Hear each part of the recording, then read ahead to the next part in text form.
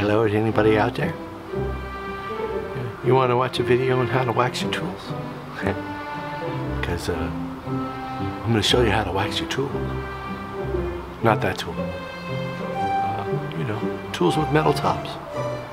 Yeah, it's important. Okay, how to wax your tools in 12 easy minutes. okay, bye. Whoa. Johnson's Paste Wax. They're not a sponsor. I don't have sponsors. It's very important to keep your tools nice and smooth because the metal gets all rusty and sticky and it's hard to push things through your saw. If you, uh, God, I'm steaming up my glasses. I must be hot. Any kind of paste wax will help uh, alleviate the stickiness of a metal table. On your joiners, your table saws, your routers, your edge sanders, your band saws, everything has a metal table on it. And where I live, it's very humid and wet. It's raining right now. It's 60 degrees and 83% humidity. Ugh, really bad for your tools. So it's a good idea to keep them waxed up and this is how we're gonna do it. And it's really important to keep your table saw nice and lubricated uh, because if it's, you know, if it's any bit sticky and you're pushing too hard, you could slip. Uh, it makes it harder to push wood through and it's, uh, yeah, it's much easier when it's all nice and slickery. So we'll go through that and uh, then we'll go do the joiner. okay. So now we're gonna do the table saw. And just make sure that your blade is all the way down. Shouldn't have to tell you, same with the bandsaw. Make sure you don't run your hand across the blade. Uh, that would be dumb. And uh, yeah, you need to pay attention sort of when you're doing this stuff. Anyway, here we go, just circular motion all the way around. I'll speed this up so you don't have to watch the whole thing. okay, go.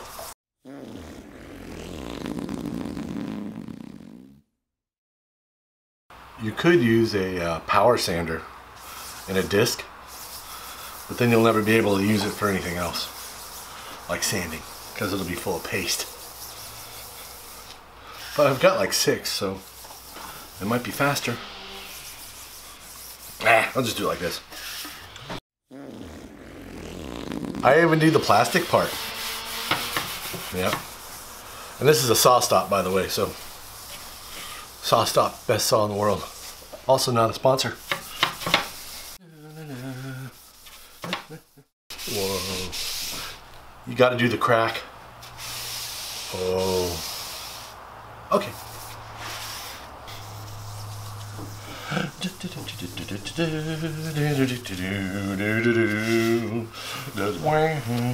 And there it is. The other thing that would be a good idea to do is the side of the fence. And you can also do the plastic here, it ain't gonna hurt nothing. But sometimes this gets a little stickery. So, put wax on everything. I'll wax everything.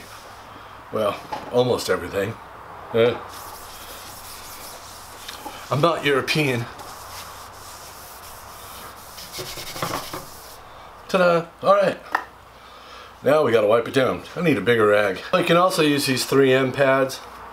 If you don't have any uh, steel wool, you might have one of these laying around.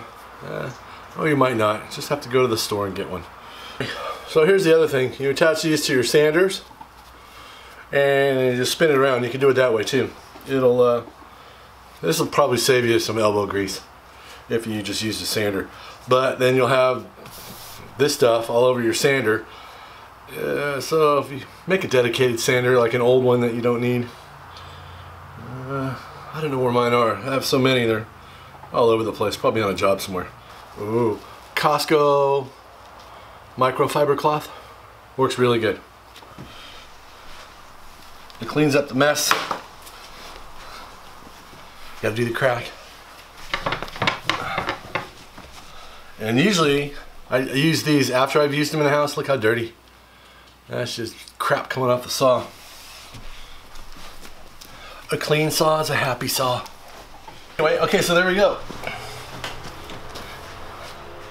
And uh, you see it cleans cleans up your saw and that's not just from the wax because the wax is that color it's actually coming off your saw like if you want to do the whole thing if you're doing plywood do the whole table everything my saw setup is so crammed in here that my This camera is sitting on my shaper.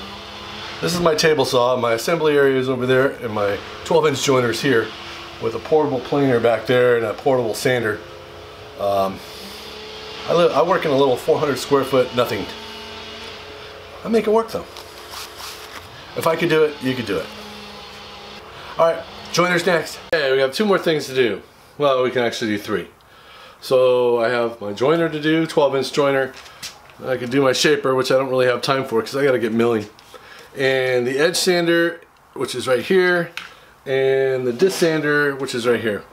Wax this thing up. When you wax it, make sure your fence is all the way back. So you don't want to like wax this part and then not do that part. So all the way back, lock it in place right there. And make sure you don't run your hands over the dam. If you have knives, especially if you have knives, uh, be very careful when you get to the uh, the fingers here, because knives will cut the crap out of you. These things will too if you're uh, bare knuckled and you're just not paying attention. So pay attention. Tools are inherently dangerous. They will eat your fingers. That's why they put these little stupid things on here so you don't cut your fingers off. And people still do. Johnson's Paste Wax, yes. I think it's just focused on me. Hello. Anyway, here we go. So I'll start at this end. Almost out. Got another. Ready, go.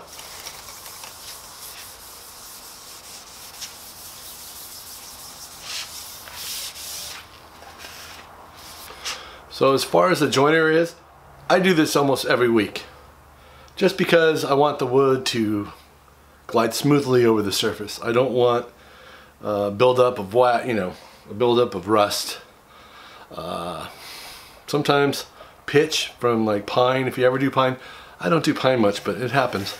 Like Doug fir, I did a Doug fir job and actually I, my joiner had pitch on it. And it was dried fir. Fir has lots of pitch pockets. Anyway, we're doing all, everything. All right, go across. I always go across this way. Just want to get close to the uh, little fingers here because I don't feel like taking off the tips of my fingers. I need them for everything else, like picking my nose. Just like waxing a car. And if you don't have this, you can use car wax, car cleaner wax. I think that's what it is. So if you don't have Johnson's Paste Wax, can't find it, you can find it on Amazon.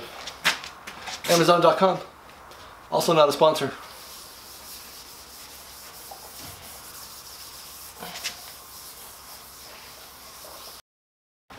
Alright, now definitely doing this fence. This is very important. And when you get done waxing everything up, drying it off and all that, Make sure this is really square. Unless you don't want square pieces. Then just don't worry about it.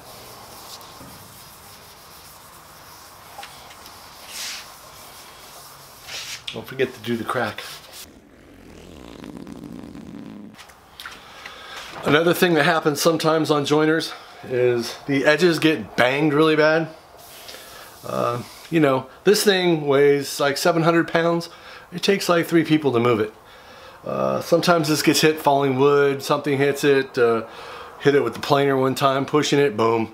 So if you have a metal file and you got a burr on this thing and you'll know it when you run something over it, you'll go, ah, that's not good. Especially on the edges. File it off with a metal file and then sand it with like a thousand grit sandpaper. Uh, your wood will thank you. Okay, and now to wipe it off. Go.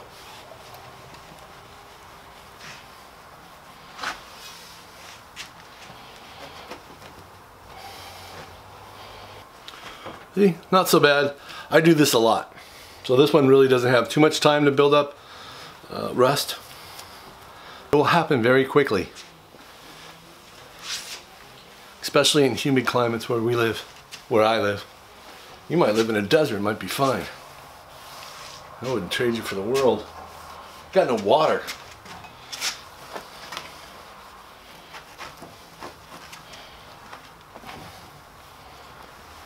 I even wiped the edge. My OCD.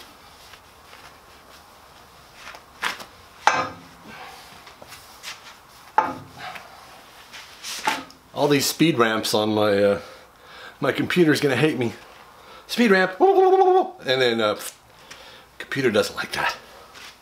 Pull this back, and then wipe the back edge here.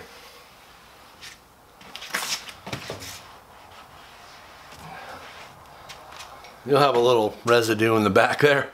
Just make sure you clean behind it because if it gets sticky and hard, it's not good. Here now, might as well just do it.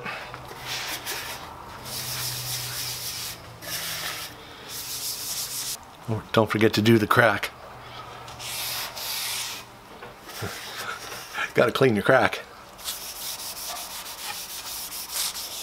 You know what, I might, I might have just done this about a couple weeks ago, now I think about it. I did some curve work and had to sand some curves. Yeah, maybe that's why. Anyway. Ow.